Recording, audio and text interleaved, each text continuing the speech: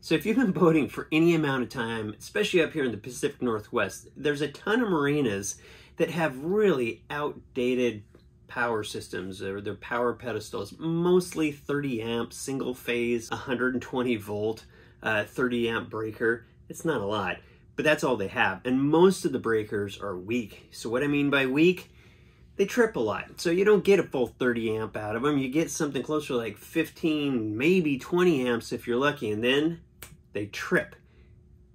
Victron has come out with this power sharing technology. It's in all their inverters and the multi-plus as well as the quattros, and it solves the problem. No more tripped breakers. Hold on, I'll tell you all about it.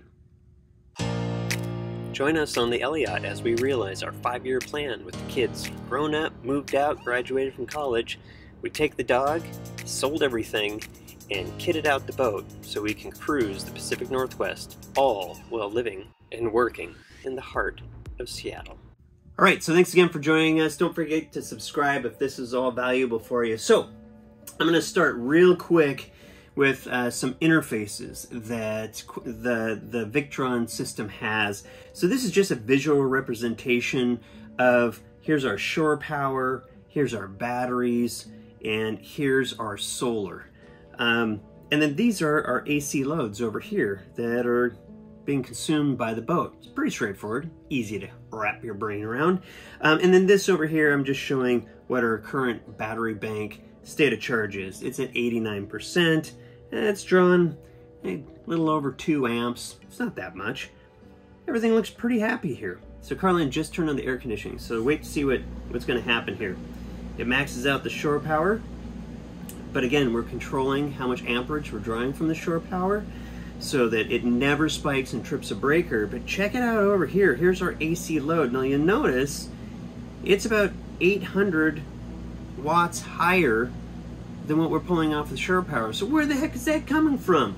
Well, it's coming off of our battery bank and off our solar. So you'll notice right here in the center, it says assisting. And this is that feature in the Victron Quattro and Multi Plus which basically starts pulling power from your battery bank when your loads exceed what the dock can give you from shore power.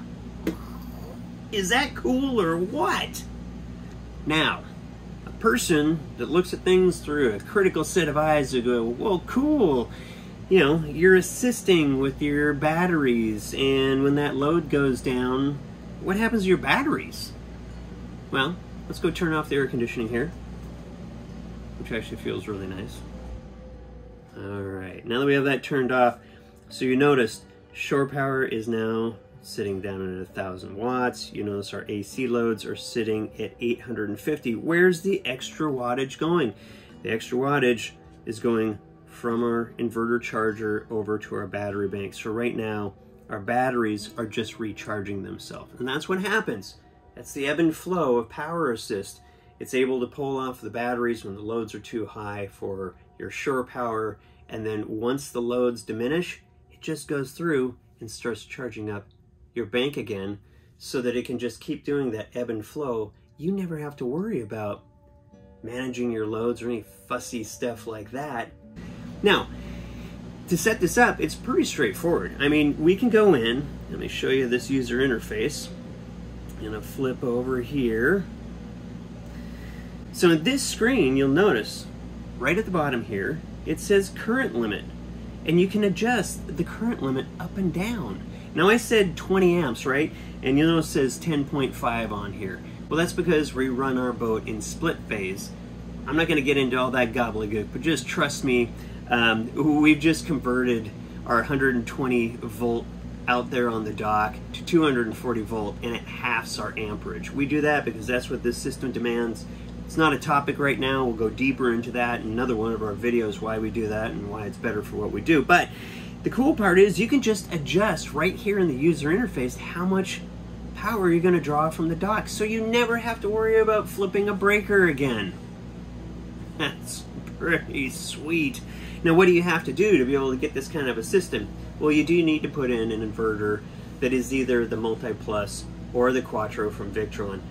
But if you're thinking about buying an inverter, this alone is worth it. I wouldn't even look at another brand because they just don't offer this kind of great uh, technology and features in their systems. We'll come back, we'll talk more about some of the other cool things that Victron offers in their Quattro setup and their Multi Plus, uh, but this alone, totally worth it. Now I'm sure I'm to get a lot of questions. How the heck do you get all this information? Well, let me show you. Uh, I mean, obviously, not only do we have everything that we talked about, we even have things like our tank levels uh, that we can see on this user interface. Um, on top of that, we can see this great dashboard that's online as well that shows you all your power utilization. It shows you how much solar has been used. Uh, it shows you what the level of the batteries are. It's just a wealth of information. It's outstanding. And this all, this all comes for free, so to speak, from Victron when you integrate a Cerbo GX with your inverter system and or your solar system or, or, or, both of those. So come on, let's take a look. I'll show you where that is. So here is that Touch 50 uh, that I was talking about. This is a hardware integrated piece uh, that we have. This is nothing more than just a, a nice touch screen that has an HDMI connection, but it's nice to have it on your your electrical panel so you can always see that. You don't have to worry about uh, a Wi-Fi connection or uh, anything like that. Um, you'll see that we're going through and it's doing assisting again. So basically it just shows all the information that we had showed you on the iPad. But back here is where we have this Cerbo GX. Uh, and this is kind of, I'm gonna call it not so much the brains, uh, because the inverter has a lot of the brains as far as like the power assist goes. But as far as communicating all of the information about solar, uh, being able to not only it has Wi-Fi in it as well as Bluetooth so that it can connect to that iPad that you saw. Uh, but you'll notice there's also a hotspot that we have here and it's hardwired. I would not recommend ever trying to connect it via Wi-Fi between the two. You can, but it drops out a lot and it's just a big pain in the ass. But between these two things uh, being coupled and all the connections that we have here to all the components that are part of the, the Victron system that we, that we have, uh, that's how all that information is able to get transmitted to that iPad.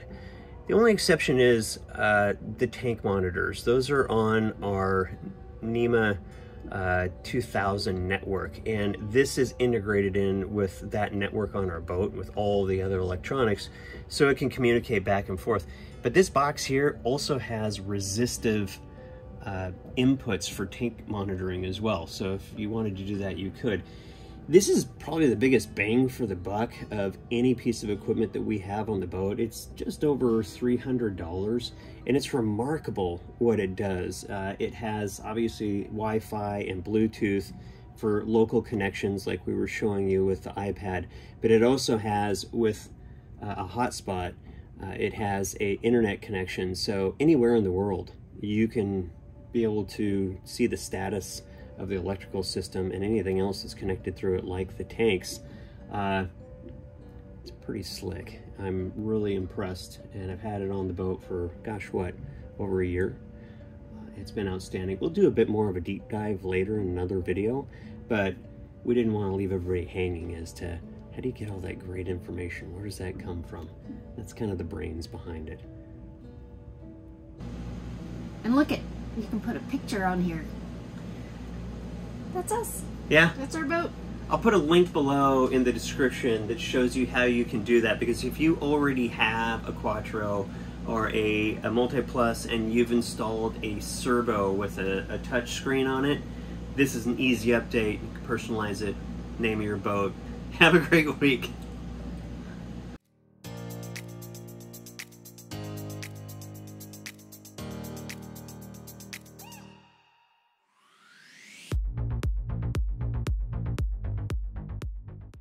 just got to use your power, your batteries, even when you're at the dock. Make some more squeaky noises. Are we done? Something happening?